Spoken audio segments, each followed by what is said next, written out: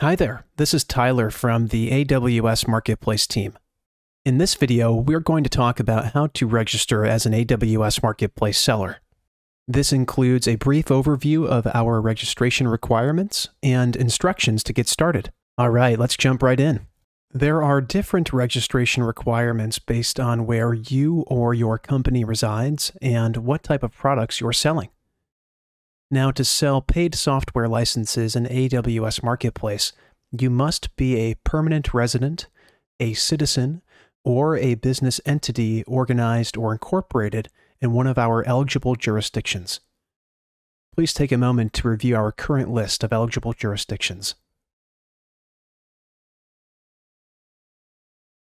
If you are only publishing free software products, you do not have to be located in one of our eligible jurisdictions or provide payment information to AWS Marketplace. Now, to create and offer free software products in our digital catalog, you must sell publicly available, full feature, production ready software, have a defined customer support process and support organization, and provide a means to keep software regularly updated and free of vulnerabilities. Now, to be able to register as a seller in AWS Marketplace, you have to sign in to an AWS account. You can use an existing AWS account or create a new account under an organization. Whichever account you choose, it will be the seller of record account we recommend creating a new AWS account because all AWS Marketplace interactions will be tied to this account moving forward. Sellers have told us that separating production accounts from the seller of record account simplifies management and separates disbursements received from AWS Marketplace sales. It also provides an additional layer of security as multiple AWS accounts can be used to further separate environments and permissions across teams.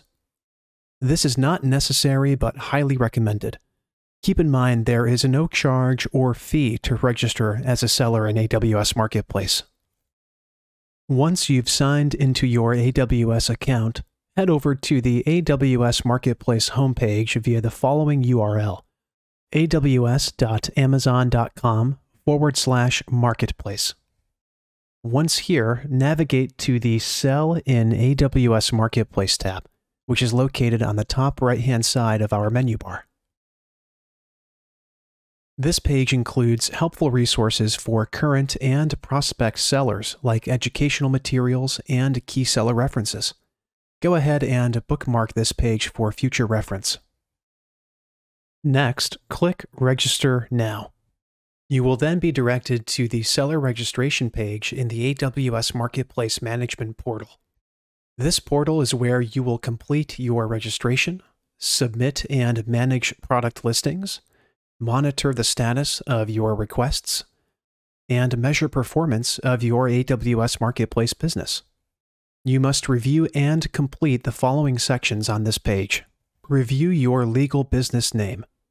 This name is shown on communications between you and buyers and between you and AWS Marketplace. Next, review and accept our seller terms and conditions. These terms and conditions govern your relationship between buyers and AWS Marketplace. Please review this documentation thoroughly and download the PDF version for local storing and future reference. Once you've reviewed and accepted the terms and conditions, the next section is about yourself. Please answer the following questions as it relates to your business purpose for registering as a seller. Questions include what types of products you intend on selling, what pricing models you plan to support, what category best describes your products or services, and which industry segment you provide solutions for. After you've completed these sections, you will then be able to register and sign into the AWS Marketplace Management Portal. If you would like to learn more about our requirements and steps to get registered as a seller, please review our seller guide. And of course, if you have any questions at all once you have access to the AWS Marketplace Management Portal, feel free to contact our Managed Catalog Operations team via this link below. All right, that is all for today. Thank you for watching, and we'll see you next time.